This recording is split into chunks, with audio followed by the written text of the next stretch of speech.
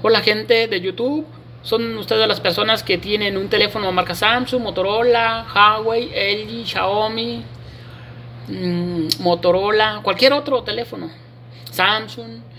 E inclusive hago este video tutorial, gente, porque muchos por ahí me están preguntando el por qué no les aparece la opción para restaurarlo y lo quieren hacer, lo quieren intentar desde aquí, desde ajustes y no les aparece la opción de restablecer. En mi caso, sí me aparece esta grandiosísima opción, gente. Sí me aparece, ¿sale?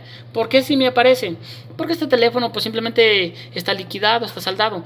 ¿Qué? ¿A qué me refiero? Si a usted no les aparece esta opción, gente, para restablecer los valores predeterminados de su teléfono, es decir, esta opción va a permitir borrar, restaurar su teléfono y que quede nuevamente como nuevo, ya que con el tiempo, con el uso, lo podemos bloquear, se puede el teléfono provocar un error y esta opción nos permite ahora sí que que vuelva a la vida, se puede decir del sistema, porque se restaura. Pero cuando ustedes adquieren su teléfono bajo un crédito, es decir, fiado su teléfono, la empresa, ahora sí proveedora, vendedora, protege sus teléfonos, ahora sí con unos sistemas de anti-reseteo que se llaman PayOy o MDM, por ejemplo, ¿sale? Y esos sistemas consisten en desactivar esas opciones, gente estas opciones. También en el modo de recovery puede desactivar la opción que se llama WIPI Data Factory Reset. Esas opciones también ahora sí que las pueden ocultar, las pueden inhabilitar. Y lo hacen con la finalidad, gente, de que no formateen, de que no borren, de que no modifiquen su teléfono. Repito, porque está sujeto a un crédito. Esa es la causa principal. Entonces, ¿cómo lo pueden desbloquear? En el supuesto de, que usted lo, bloquearon o simplemente su teléfono trae algún error, ¿cómo lo pueden restablecer? ¿Cómo lo pueden formatear para que quede nuevamente a su estado de origen? Yo les recomiendo que si todavía lo están pagando, van en regla, etcétera, eh, ahora sí que se comuniquen con su proveedor, con su vendedor y vean la forma de, de tratar ese tema.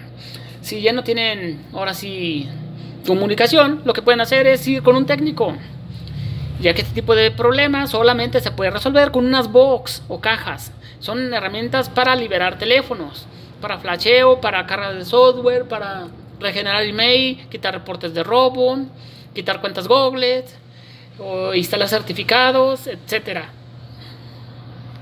Esas box, gente, solamente los técnicos las tienen porque son muy costosas, son muy caras. Entonces, si ustedes intentan comprar una caja de 300 dólares, no les va a convenir para desbloquear su teléfono personal, obviamente.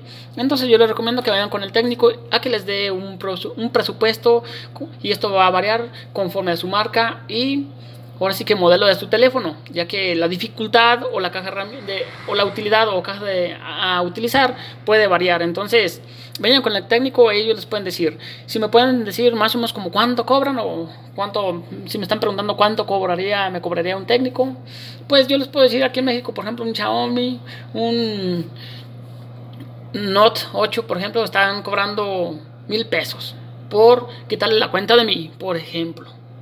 ¿Sale? Entonces ya cada quien puede ir directamente a checar ese, ese dato con el técnico. Pero, repito, solamente con las herramientas se va a lograr. Con viendo, viendo por ahí tutoriales en YouTube no hay ahora sí que esa forma, ya que el teléfono requiere conectarse físicamente a la PC y a través de esas box, ahora sí que desbloquearlo. Bueno gente, esperemos y les haya ayudado este video explicativo de guía para que sepan lo que procede, lo que hay que hacer en, este, en estos supuestos. Bueno gente, nos vemos y no olviden suscribirse al canal. Ánimo.